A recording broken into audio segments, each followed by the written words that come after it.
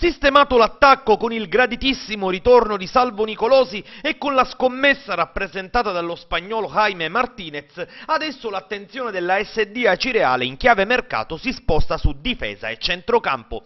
Se nel pacchetto arretrato dovessero rimanere Raneri, Cocuzza e Ricca, ci sarebbe ben poco da ritoccare. In mezzo la situazione è diversa. Si lavora per strappare Ciccio Cordova alla Leonzio, anche se il sogno si chiama Truglio, uno dei mediani più completi del panorama calcistico calcistico etneo. Insomma, in vista del raduno di lunedì al Tupparello, la squadra prende forma per iniziare a lavorare agli ordini di Mister Ricca.